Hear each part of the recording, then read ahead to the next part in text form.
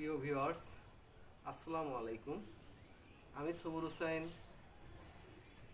Pigeon highflyer ইনফরমেশনে আপনাদের স্বাগত আশা করি সবাই ভালো আছে আজকে একটা বিষয় তুলে ধরব নতুনদের উদ্দেশ্যে। আসলে আজকের টপিকসটা আসলে নতুনদের উদ্দেশ্যে।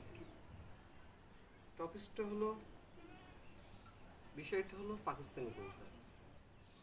আসলে এখন হাইফিলার যারা পালি, মূলত তাদের পছন্দের তালিকায়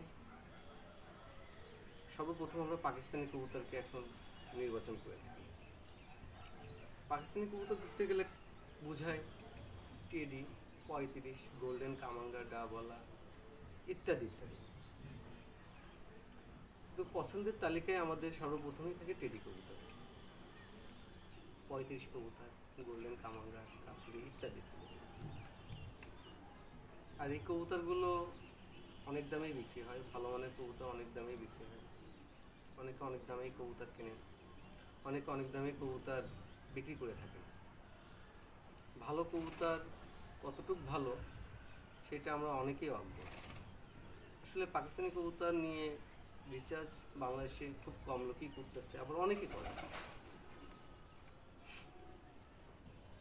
পাকিস্তানি কবুতর, মূলত আমরা একটা ভালো কবুতর বা নতুনরা যেটা নির্বাচন করে থাকি, কবুতরের পর, কবুতরের ভাইব্রেশন কবুতরের টার্নিংটা তার নিজের দিকে।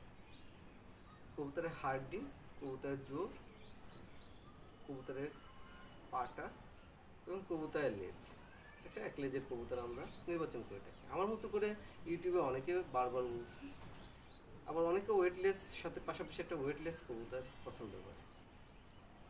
আসলে আমার মূল কথা, পাকিস্তানি কবুতর আপনি ধরতে গেলে সিক্সটি থেকে সেভেন্টি পার্সেন্ট এই প্যাটার্নের কবুতর পাবেন। কারণ সে দেশে এই প্যাটার্নেই কবুতর তৈরি হয়েছে। আর এই কবুতর সেই দেশের আবহাওয়ার জন্যই তৈরি হয়েছে। এটা নতুনদের উদ্দেশ্যে বলো। আমার কথার সাথে অনেকের অমিল থাকতে পারে। অনেকে আমার কথাটা অপছন্দ হতে পারে। কিন্তু এই কবুতরগুলো আমাদের দেশের জন্য না, এটা আমাদের ওয়েদারের জন্য তৈরি না। তারপর আমরা পালি। অনেক সময় আমরা বলে থাকি, পাকিস্তানি কবুতর পালতে পালতে আমরা অনেক সময় মনে করি আমাদের বাংলাদেশটা বোধহয় Pakistan, Oman, Dubai, Saudi Arab, Kuwait এরকম মনে করে ফেলি, যেহেতু আমরা এই কবুতরগুলো পালি। আসলে এটা ভুল। আমাদের দেশের আবহাওয়া এই কবুতরের জন্য না। যারা পাকিস্তানি কবুতর উড়াচ্ছেন, তারাই ভালো বলতে পারবেন আমার থেকে। আমিও উড়াই। এ সম্পর্কে আমারও একটু নলেজ আছে। আসলে কবুতরগুলো কেন নামতেছে না বা কী করতেছে, এর জন্য আমাদের দেশে সিনিয়ররা অনেক কাজ করে যাচ্ছে। কেন নামতেছে না? সবারই একই প্রবলেম ফেস করতেছে। তারপরেও একটা কথা বলি নতুনদের। আপনাদের পছন্দ কবুতরগুলো আপনারা ক্রয় করেন। ক্রয় করার আগে সাতবার ভাবেন। কার থেকে কবুতর নিচ্ছে? কী কবুতর নিচ্ছে? তার রেজাল্ট কী? সে কতদূর করতে পারছে? কারণ আজকে শখ শখ থাকবে না। যখন আপনার কাছে পনেরো পেয়ার দশ পেয়ার পাকিস্তানি কবুতর হয়ে যাবে, আপনার ঘরে এর বাচ্চা অনেক হয়ে যাবে। তখন আপনার একসময় বিক্রি করতে হবে। কারণ আপনার এখানে ইনভেস্ট করা আছে। শখ সবার প্রথমেই থাকে। আমি এরকম শখ অনেককে দেখেছি। শখের পরে সেটা বিজনেস হয়ে গেছে।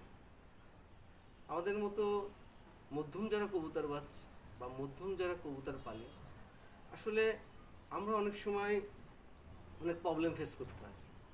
বড় প্রবলেম হলেন মার্কেটটা নতুনদের উদ্দেশ্যে বলি, চিন্তা করেন যে এক পেয়ার টেডি কবুতর, দুই পেয়ার পঁয়ত্রিশ কামাঙ্গার কিনলে আপনি, আপনাকে পায় কে?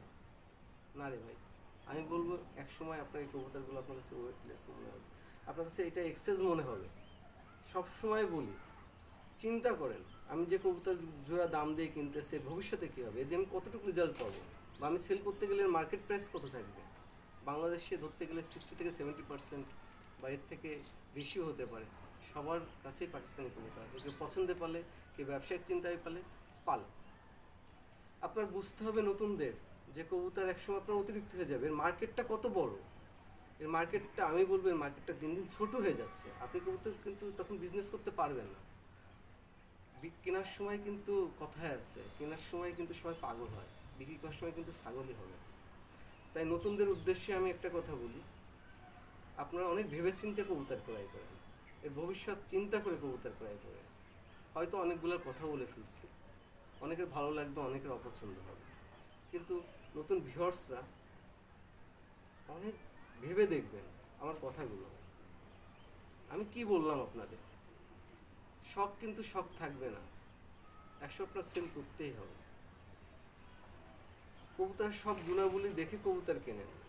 তারপরও আপনি কবুতর, আপনার কবুতর হান্ড্রেড পার্সেন্ট থাকলেও আপনি দাম পাবেন না। যদি আপনার কবুতরের রেজাল্ট না থাকে। আপনার কবুতর যদি রেজাল্ট না থাকে, আপনার কবুতরের কোনো দাম নেই। আর যাদের রেজাল্ট আছে, তাদের কবুতরের দাম আছে, কারণ তাদের রেজাল্ট আছে। তাই নতুন গৃহস্থদের বলব, বারবারই বলব, অনেক ভেবেচিন্তে কাজ করেন, অনেক ভেবেচিন্তে কবুতর ক্রয় করেন।